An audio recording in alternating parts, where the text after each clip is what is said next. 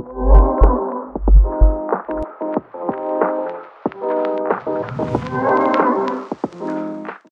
going on, everybody? Welcome into a special edition of the Daily Energy News Beat Stand Up here on this gorgeous Saturday, March 23rd, 2024.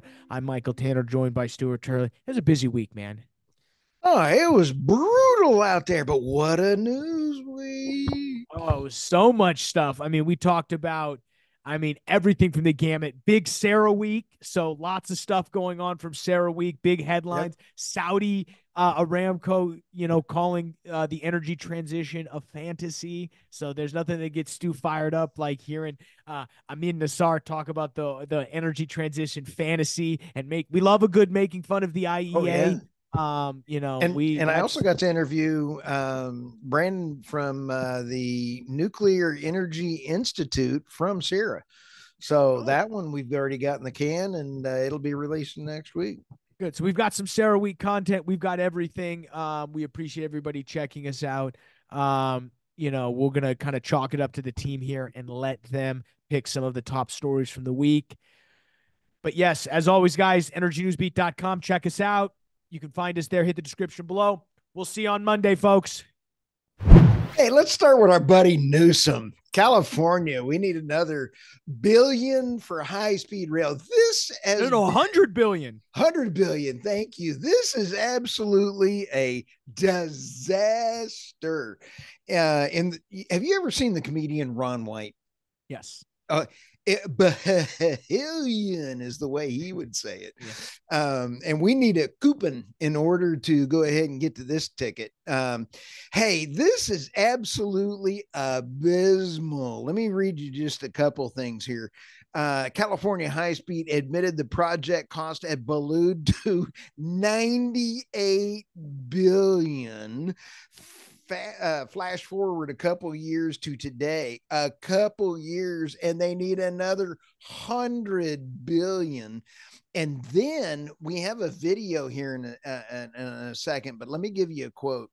Economic headwinds, really? I'd say a brick wall. Um, and, and so anyway, I'm going to tee up this video. It's a minute, I believe it's a minute seven. And Michael, you just saw the video. What are your thoughts on this before we tee it up for our podcast listeners? I think the only way to the only way to see it is, is just watch it. So we'll we'll give our take after. Okay, here we go. Said they're concerned. Right now, the the air is being sucked out of the room funding wise by this one project.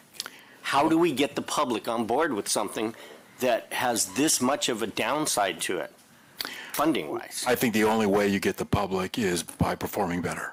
And I think the authority is performing better today than it was, and I think it will going forward. I think it's the right thing to do for the future of the state and the country. And uh, yes, it's a challenge. And just like when I worked on the Bay Bridge years ago, and you're stuck in the middle of a very tough project, it feels impossible uh, until it's not and then you just grind, you do the work, you perform better, you deliver. And and as and you're right, we got to get this middle section done. We got to get this middle section done. We are on a better path today on it than when I started. And I believe it will get done. And then I hope we have the wherewithal to do San Francisco to LA in three hours, because that's what this project can do. Now, the High Speed Rail Authority is also hoping to have a solid federal partner on this project. But for some context there, President Joe Biden has been supportive of this project. When former President Donald Trump was in office, his administration tried to claw back funds for it. So I Stu, Stu, there's a couple things in there that's hilarious. One is the same guy in the speech. He's talking about when I was leading the the Bay Bridge construction. Oh, the the the the Golden Gate Bridge construction, notoriously uh, over budget and off schedule. And we've got the same when when I was in the middle of it. I mean, it's it's the blind leading the blind up here. What I, I mean, you have to also remember this started out as a $33 billion project. Still a huge number, but not that big. It's now over 200 billion they think they need. They got a measly 3.5 from the Obama administration and then immediately grew to 42 billion. I mean, the problem is what's hilarious is this is kicking Biden in the shorts because it's all inflation. Oh, it's worse than that. It's graft. And I guarantee you there was graft on the bridge, and this is uh, accusations of graft. I don't have a fact. Um, and the other one is I love his quote, Michael. It's a disaster until it's not. the That- next thing, the I'm going to start using that excuse. it's a disaster till it's not. The last thing that's in here is uh, the news anchor for that that show, uh, TV show in California says, uh, "Oh, by the way, they need a real friend in the White House because the U.S. taxpayers are going to pay this billion.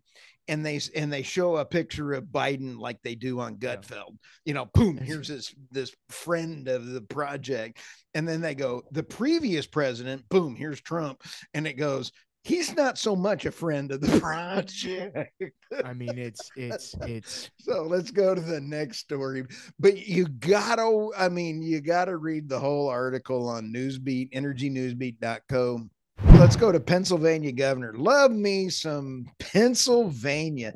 They're now the largest exporter of uh, electricity on the east coast area. And uh, pennsylvania governor unveils plan to cut greenhouse gases. Hmm It's guess what it is? It's coal, uh, cutting coal uh, plants out, boost renewables and big energy producer. Our buddy, this is Governor Josh Shapiro. Uh, the plan to fight climate change. Uh, hmm. Uh, he nicknamed electric electricity city. His plan will make Pennsylvania competitive in a clean energy economy. It's not going to happen. Here's a quote from him: "If they choose to do nothing, they're choosing to be less competitive in an environment that demands us excellence uh, at to the table every day. They're choosing to fall behind if they do nothing." Uh, here is a quote from our buddies over there at the Marcellus Coalition. I love him. I'm trying to find it. I've, I've David Callahan. We love David. David, love David, which represents uh, Pennsylvania enormous natural gas industry. Uh, he says even when the what the government has proposed is not enough to meet the needs of addressing the climate crisis, it's a huge step forward. P- Pennsylvania is now. Oh, this is from Alex uh, Bomstein, I was executive. going to say that's not from Dave. Oh no, here let me get you uh, Dave's um, said uh, uh, represents Pennsylvania's enormous natural gas. Uh, the most pressing challenge is ensuring the grid is stable and reliable. Uh, reliable, said Dave Callahan. Uh, he's dead on right. And you you know uh, you sit back and kind of go, if they did nothing, Michael, and turned down the gas, excuse me, the coal plants and replaced with natural gas plants, they would save and cost uh, kilowatt per hour to all consumers on the uh, as as far as they could export energy. They have the opportunity to Yep. make a bunch of tax revenue. No, this they energy do. They, tax is just they they really do. And I mean, I'm all for shutting down coal plants and retrofitting them and moving into natural gas. The problem is that's not quite what's going on here. It's a let's shut down coal and let's try to bring in wind and solar because, you know, the fact that, you know, I, I, you know, what's hilarious is Scranton, Pennsylvania is nicknamed the Electric City. Is that from The Office, or is that because they're actually producing electricity? We remember, you know, any Office fan will I- remember the I, Electric I City. recognize Scranton, and I, I didn't even associate it with The Office. I love the the Office series. Oh, absolutely. I don't. I, I. You know, we can't be so sure about that. You just have to remember, sixty percent of the state's electricity comes from natural gas. Okay. We have got to move the Energy Newsbeat headquarters to Scranton since this is the electricity, and we could have our own office show. the electric. I'm oh, in. You're Michael Scott, that's for sure. You're uh who was the other uh sarcastic goofball that had the farm? Oh, Oh, uh, I'm Dwight. Yeah, you're great. Dwight. All right. Saudi Aramco CEO says energy transition is failing and world should abandon the fantasy of phasing out oil. Uh, this one is pretty cool. Uh, uh, Amin Nasser said um, that energy transition is failing. The real world, here's a quote In the real world, the current transition strategy is visibly falling on most fronts as it collides with five hard realities.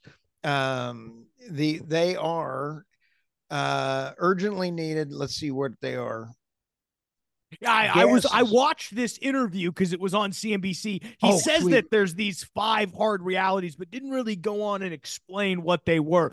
The the next quote that he's got is a transition strategy reset is urgently needed. And my proposal yes. is this: we should abandon the fantasy of phasing out oil and gas and instead invest them in adequately or invest them adequately reflecting realistic demand assumption. Oh, that's a shot across to the IEA. Oh, absolutely. And uh, in Paris, they said that oh shoot. Uh, peak oil and gas and coal would come in 2030 nasser said demand is unlikely to peak any time soon. Okay we know that uh, janet yellen is saying that inflation is transitory. I'd like to say that we've got a new one now. Nasser is saying natural gas is not transitory. So he has a better haircut than janet yellen Oh, yeah. hey, at least he's got. At least they both got hair compared to what you're working oh, with over there. Smoke them if you got them. That was a great but, one.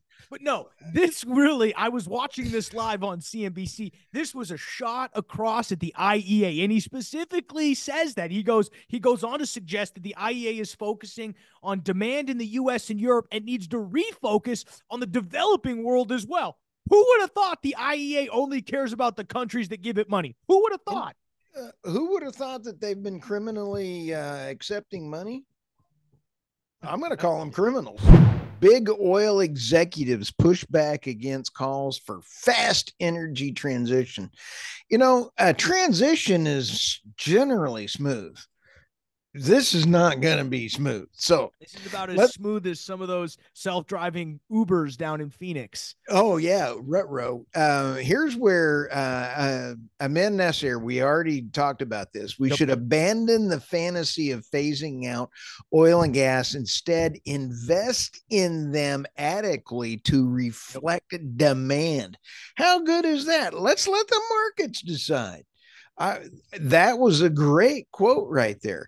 Despite the growth of electric vehicles, uh, oil demand will reach a new record 104 million barrels per day this year. Peak oil still is not around the corner.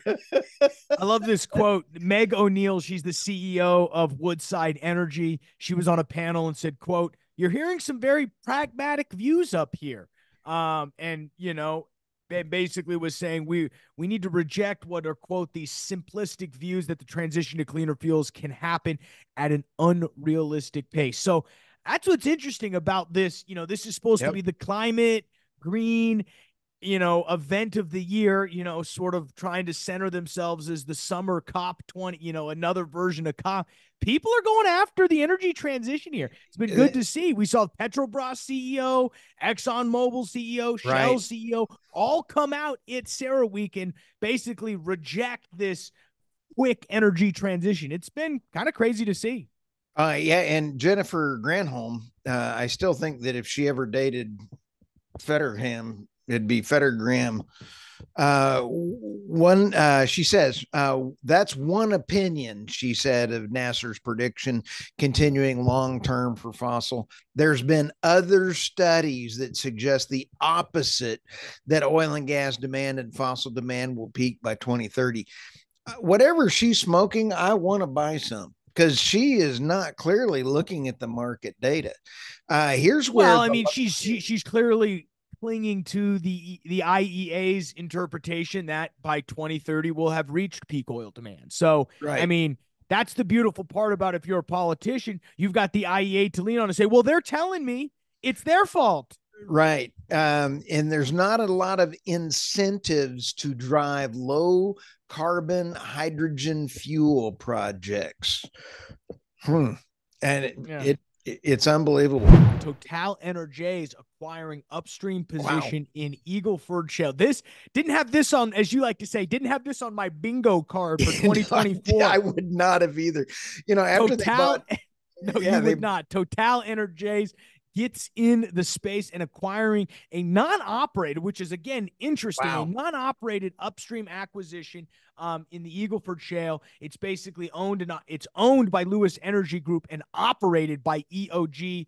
Um, to give you an Hmm. idea, um, this is in Webb County down there. Um, and this is mainly to support the Rio Grande LNG terminal. So they're basically getting it as a non operated partner, attempting to secure some marketing for their LNG assets, but also taking again that non-operated position and taking it off Lewis Energy Group's hands. So so very interesting. Remember it's a That 20 is. year deal that Total has with Next Decade um to basically export about 5.4 million tons per year um, of LNG, which they'll luckily be able to sneak through because they've already started building it.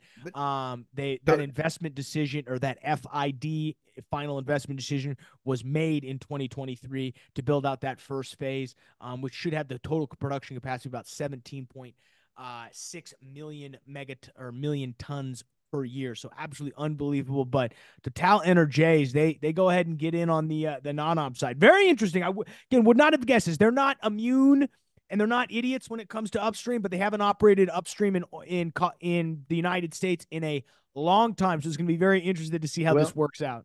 they did buy the uh, all the uh, natural gas power plants enough for two nuclear reactors in gigawatts being produced so that they own a lot of power plants so they're buying the whole food chain in texas 1.21 gigawatts. if i only had hair i would use that line if only you did. You old doc. let's go to deutschland uh, how germany is dominating the hydrogen market okay Ener- energy with Germany is kind of a bad thing right now because Germany and California have the two highest energy costs in the world. Both are deindustrializing because of their energy policies. So let's start this. If somebody is deindustrializing and they're horrible with decisions, would you want to follow them as an energy lemming? Um, how is G- Germany dominating the hydrogen market? Question mark. Uh, 10 gigawatts of electro- uh, electrolyzers are predicted to produce a half a million tons of green hydrogen annually. This investment means it's set to boast more hydrogen valleys than any other country in the world. France is expected to sit in second place with four, and the UK and the Netherlands are supposed to have two apiece. It doesn't work. Um, I almost want to do my Biden imitation. I'm leaning into the mic. It doesn't work. Um, where's their water? Hydrogen takes a lot of water, no matter what process. This is part of the great EU hydrogen corridor that you cannot put these things into a normal pipeline they say that you can put them in natural gas, and I was big on this. It doesn't work. It has to be all new pipelines. The cost is prohibitive. Yeah, no, I mean, I'm- I, you're absolutely right. It's, I mean, there's funding available for it, so people are going to create projects to to do with that. I do love they're in this this hydrogen corridor. I found that super interesting. Um, now in in in in Germany's defense, they are one of the final high quality manufacturing countries in the world. High precision tools, their man their their their steel manufacturing is one of the best in the world. So if They anybody's were. to they were, The operative word is were. okay? Most high tech folks are leaving and they have quit investing in new technology in Germany. Okay. Operative word were. Okay, I mean I still don't think it's going to work, but if they have if you can't get a word in with him. I think in my you know, you got to try. Now, is this a little bit of just a government grab to to, to to funnel some money to some other bureaucrats? Well, probably, but they are actually trying to make it happen. Again, is it going to work? I don't know, but I'm all for private industry doing this, like BMW. It goes down to talk about how uh, BMW is looking and how much they're spending on trying to get a hydrogen car. I'm all for private industry doing this because that's yes. the efficient market playing. Yep, I agree. I, I love having profits from companies supported by the markets get the energy. And we'll see. We'll see, I, just like we're seeing with wind and solar. We'll see if it reigns supreme. Oh yeah, let's spend some more money. Taxpayers got all of it to give away. Okay, let's well, go to again, the next. I'm for private industry. Oh, that's. I'm not saying. for public spending. There's a difference. A huge difference.